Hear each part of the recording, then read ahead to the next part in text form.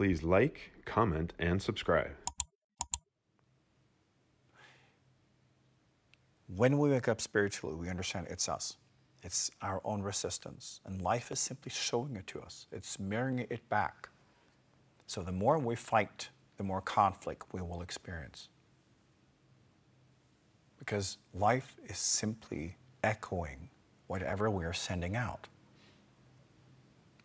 So when you're sending out your fear, you know, that's what you will be experiencing. You know, life will have to create situations where you can experience it so that you can work with it and work your way through it and eventually see the illusion. And then the concept of strength and resilience changes because in the beginning it's about fighting the world and standing for what's right and, you know, and it changes. And you understand and realize that the fight is internal. It's between you and as essence and your own resistance. That's the battlefield. It's not the world. It's you. And then you realize, yeah, I've been feeling like a battlefield my entire evolution. Because that's what we feel. That's what it means to be an individual. We are all at war with ourselves. Because all these different aspects, everything that we're studying, everything that we're learn, learning, it's all out of tune because we haven't figured it out.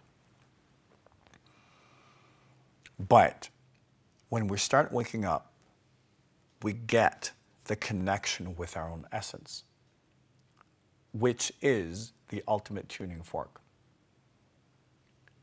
And we start withdrawing from the outer conflicts. And you're saying, oh, I got more than enough just you know, tuning myself, you let others be.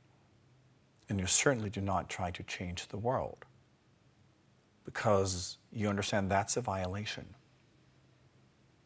And it's completely unnecessary because the world is simply the collective of individuals also in their resistance and trying to figure things out.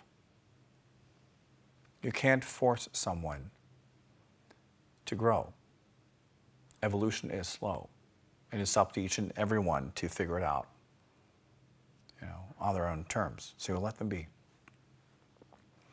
So the strength you need is to stand up to yourself, to stand up to your ego, to stand up to your illusions, to make those hard choices where your genetics, your chemistry, your memories, your narratives are telling you that this is right. And you feel yourself being pulled, and you just said, uh uh, no. Not going to happen. That's where you need your strength. That's where you need your resilience. It's not to fight the world. And gradually, you win. As you gain strength, as you gain insight, you're able to stand up in yourself, in your own battlefield, and gradually the conflicts will diminish.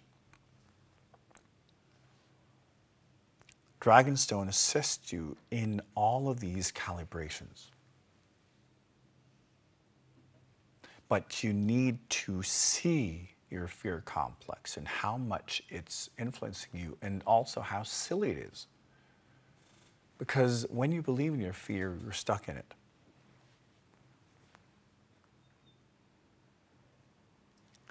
Make a decision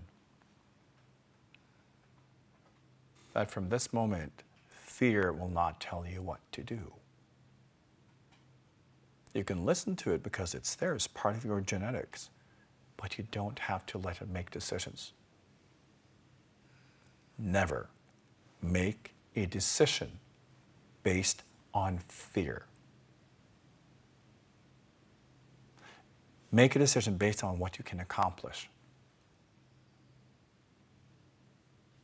make the decision based on how much unfoldment, how much growth, how much feeling, um, healing, not feeling, but feel, feeling as well. Healing can be gained. Not about how much can be avoided, because that's what fear is about. Learn to aim directly at your fear. Learn to aim directly at your pain. Learn to aim directly at your excuses.